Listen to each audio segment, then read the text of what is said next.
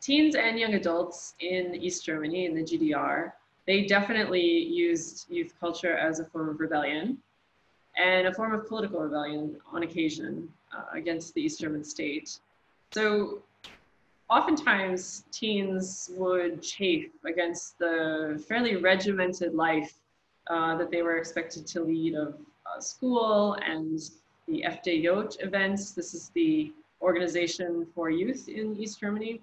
And so beginning in maybe the mid 70s, you get a lot of young people who, who go to all of the events they're supposed to go to. They participate, uh, and these would be like rallies or fundraising drives. Uh, but as soon as the event is over, they take their FDJ shirt off, the blue ones, and they would crumple them up and shove them down to the bottom of their backpack. Uh, they just did what they had to do, what they were required to do um, a really interesting subculture arose that is specific to East Germany. I don't think it exists anywhere else. This is called the blueser subculture uh, because they followed bands that played blues music. And this is in the 1970s. And they had a kind of typical outfit. So they would wear, which was half fashion and half practical. It's actually very practical. They would wear um, these um, big rain jackets that were are like army surplus from the west actually and climbing shoes. So actually what you would use to climb a rock wall uh, and jeans of course. And for men long hair and beards. So it is the 1970s after all. And the great thing about this big overcoat was that you could sleep in it and you had a little satchel and you hitchhiked your way to the uh, concert that you were going to. A lot of these concerts were held out in rural areas, so away from the um, most of the watching eyes of the authorities. Uh, and some of the young adults would even bring their kids to these concerts uh, and sort of hitchhike their way around East Germany looking for a little bit of adventure in uh, in the summer months. And that was a way of, of you could say protesting by dropping out, essentially, just doing their own thing. There are also a lot of uh, Western cultural symbols that could be used as small protests in schools, for example. So uh, I talked to one man who, in his school in East Berlin, he, and this is in the 1970s, he wrote some lyrics from a Rolling Stones song on the chalkboard uh, in his classroom. And he knew that he would be punished for this, uh, did it anyway, of course.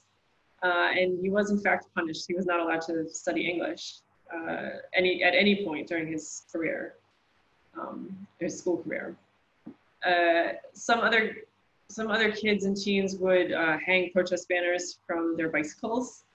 They, um, of course, would wear interesting styles that were considered fairly Western, right? So punk, goth, um, these types of, of really outrageous looks. And it also wasn't just teens that were using youth culture as a political tool. Foreign governments and even West German rock stars instrumentalized uh, youth culture and rock music to, to question the absence of real freedom of expression in East Germany.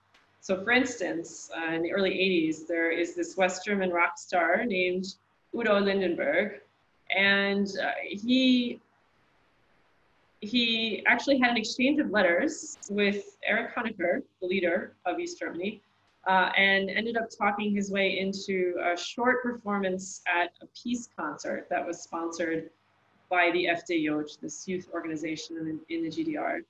Um, and that was incredibly unusual at the time because he was unpredictable and had written a song that made fun of Eric Honecker personally uh, and was was really quite quite embarrassing for Honecker. And then by the 1980s, uh, you have also a lot of uh, dissident pastors in the evangelical churches in East Germany. And they would do interesting things, uh, like in East Berlin, there were a few pastors who started holding blues masses where there was uh, there were prayers and it was a service uh, like you would get normally at church, but it was interspersed with really generally good blues music, occasionally rock. Uh, sometimes they would play other types of music as well. And then there was a lot of politics. So these services were protected because they were under the umbrella of the evangelical churches but they really attracted their audiences by offering uh, really great youth cultural entertainment that young people in the GDR couldn't really find anywhere else.